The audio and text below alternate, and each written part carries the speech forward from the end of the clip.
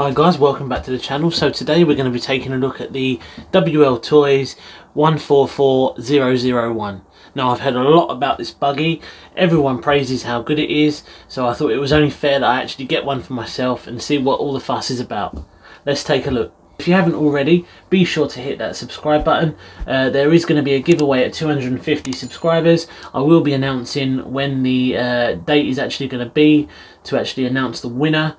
Uh, I will be doing that live. I will be setting up a live stream on YouTube to actually announce the winner. Uh, the winner will be picked at random. If you haven't already entered that, then I will leave a link in the description below. Head over to that video, leave a comment, and you will be in for a chance of winning the Dumbo RC X4. Okay, so I've actually already unboxed this. Uh, so in the box you do get a USB charger, a manual, a little cross wrench.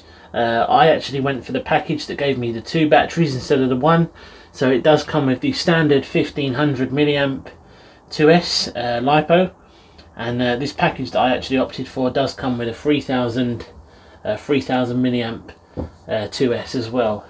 Obviously you get your usual uh, two channel transmitter included as well and then the buggy itself. Okay so let's take a closer look at each of these items. Okay so taking a closer look you've obviously got the two channel transmitter. Now on the top this does say M2R Racing. I don't know if that means anything to anyone. It doesn't particularly mean anything to me. I think that's just a made up name, made up brand.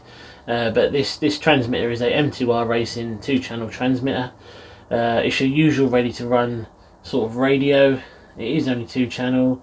Uh, it does have uh, throttle dual rate and steering trim adjustment. Moving on to the batteries then, so this does come included as standard a 1500 milliamp 2S and uh, in this instance I actually went for the upgrade package which would in, uh, which has included two batteries. So the second one is the 3000 milliamp and that is also a 2S now both of these do come with Dean style connectors or T-plug connector if you like and um, yeah both of these are capable to uh, both of these are compatible sorry to be charged with the uh, included USB charger. Okay so let's take a closer look at the buggy itself. Okay, so taking a look at the buggy then, so this does come with a 60 amp uh, brushed ESC, a 550 sized brushed motor, and uh, all metal chassis, obviously, which is very, very nice. One of the things I like most about this is the actual metal chassis and also the oil filled shocks are very very nice on this. The initial feel of this does feel very very nice, it's not too heavy but it does have some good weight behind it. So guys obviously this does come ready to run, pretty much everything required to actually run this vehicle does come included in the box. Uh, all you're going to need to do is stick 4A batteries in the transmitter, charge up the LiPo batteries that come with it, or the single LiPo if you bought the, if you went for the normal version, and um, pretty much head out and have some fun with it. Okay, so this is pretty much my very first Banggood vehicle that I've ever brought. Uh, I've only ever gone for the usual brands. I've never ever gone for a Banggood special. Uh, the only reason I actually have now is because a lot of people do praise these and say how good they actually are. So I thought, do you know what?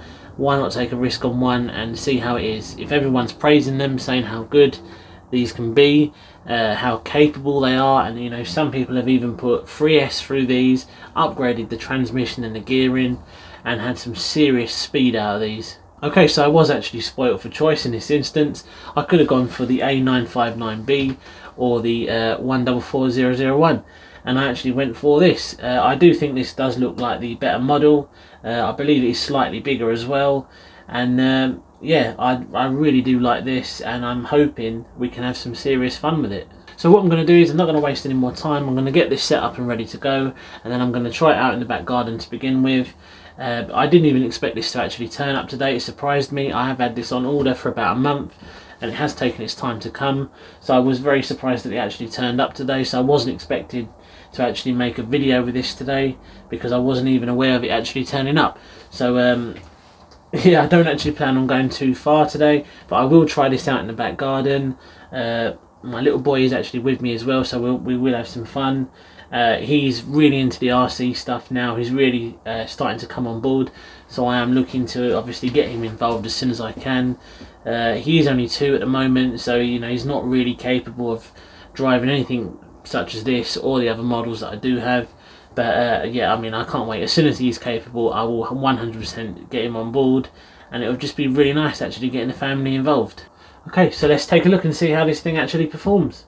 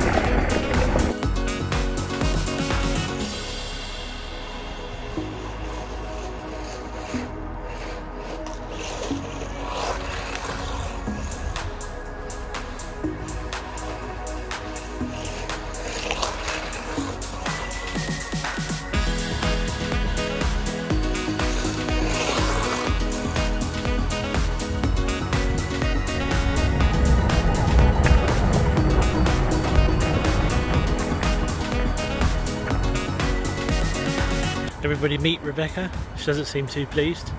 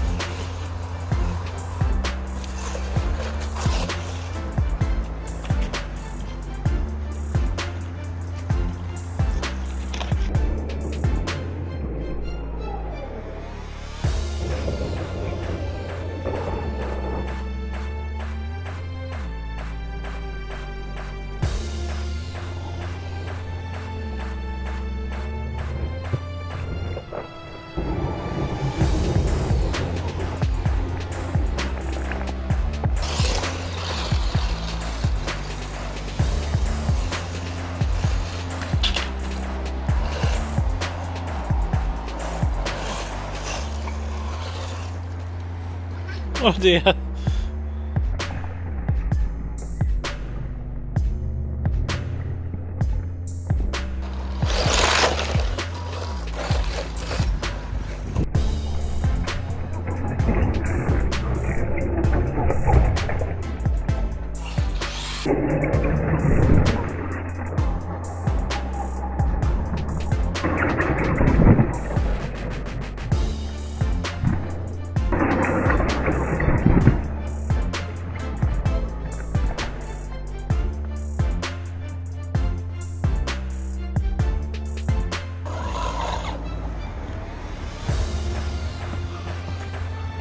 You got there?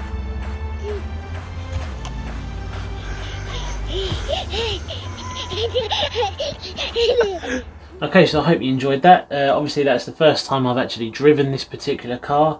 Um, I have to say I'm very, very happy with it. I'm very, very pleased.